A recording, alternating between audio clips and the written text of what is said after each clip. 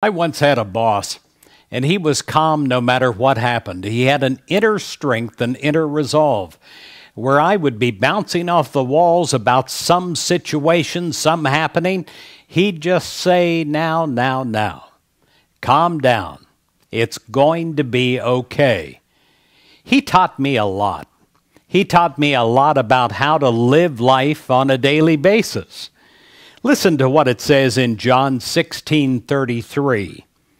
In the world you have tribulation. Maybe you have tribulation, problems, mountains of, of difficulties coming towards you today. And then it goes on, it says, But be of good cheer. You might say, But how in the world can I be of good cheer? And then it goes on and it says, I have overcome the world. Well, I was able to overcome the world in that time that I worked for this man because he had overcome the problems of the world. And it wore off. It literally, he cast a very positive shadow on me. Well, you can also overcome the world because you have God with you where you are. We talk a great deal about overcoming problems, working through them, learning from them, and adjusting to those that we can't change. This is good.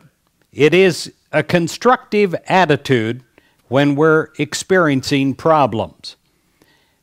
But we need not stop just there.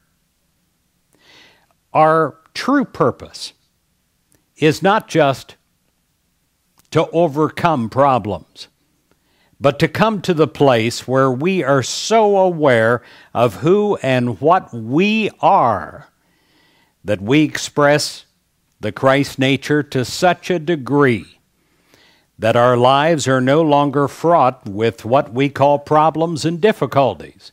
You may say impossible, but not with God, it's not impossible when we live from center to circumference. Now, that is from the core of your spiritual being outward. Instead of having situations and events that are outside of yourself come in to affect your core, when you live from center to circumference, everything in the outer changes for the better. You have power with God over the outer.